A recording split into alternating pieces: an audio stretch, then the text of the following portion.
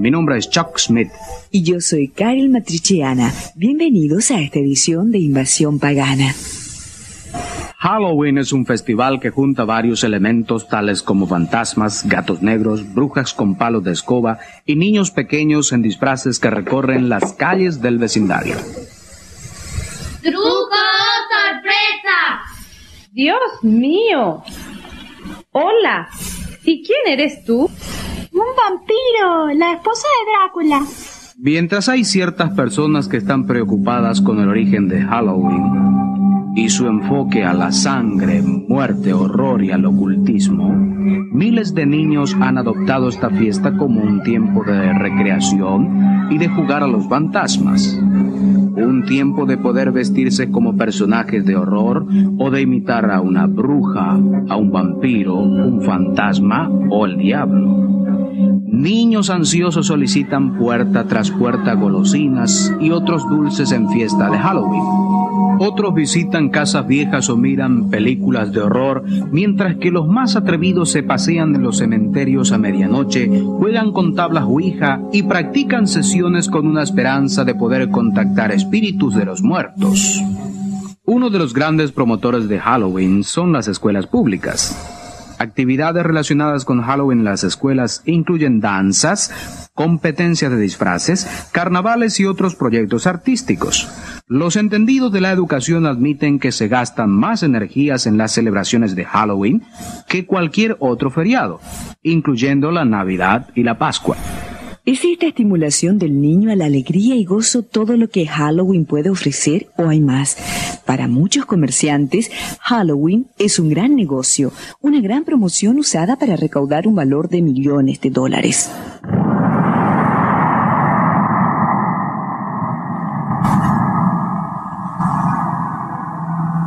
Además de los trajes con temas de dibujos animados para los niños, hay más y más negocios que diseñan trajes de personajes siniestros para la venta. Esta cadena de negocios, bien conocida, venderá más de medio billón de dólares en mercancías de Halloween este año. Y esto no incluye las entradas de la venta de golosinas.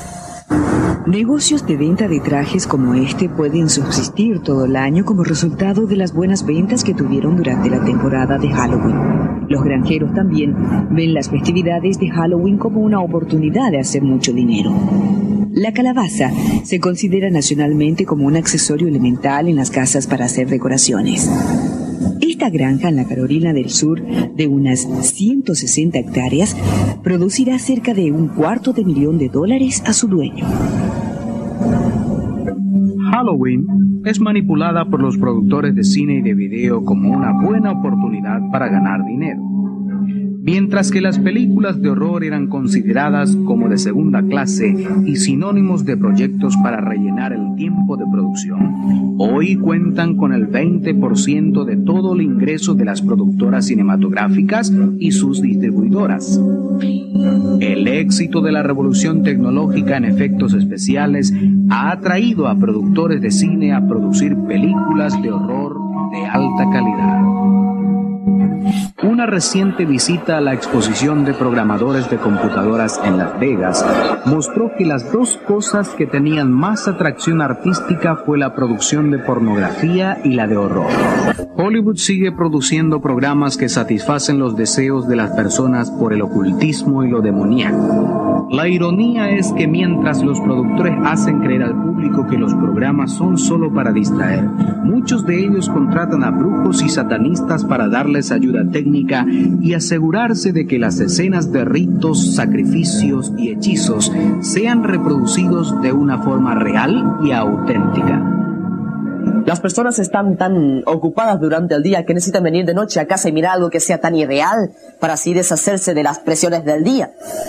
Es una cosa que te ayuda para reírte y olvidarte la vida. Durante las dos décadas pasadas, la mayoría de las películas de horror han llegado a ser más gráficas en mostrar la violencia y la crueldad.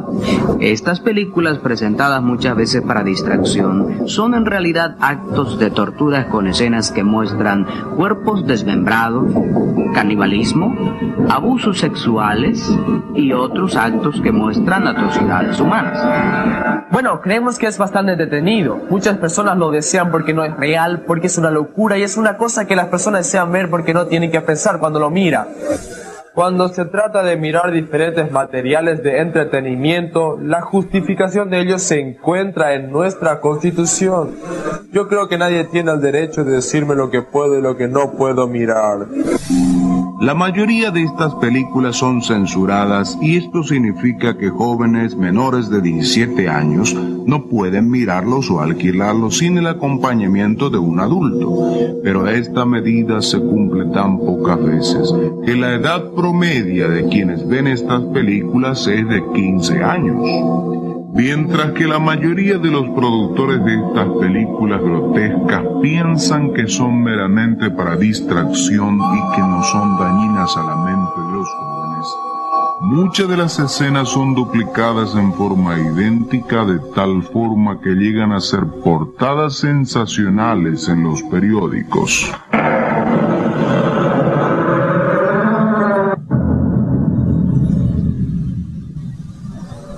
Hobbs fue iniciado cuando era pequeño en una secta satánica por su abuelo y siguió participando en ella durante varios años. Recientemente le pregunté a Glenn acerca de Halloween y de la importancia de este evento para el ocultismo. Bueno, mi participación en la adoración satánica comenzó cuando aún era un niño y era lo que se llama un adorador satánico por generación. Y lo que significa esto es que mi familia estaba envuelta en ello.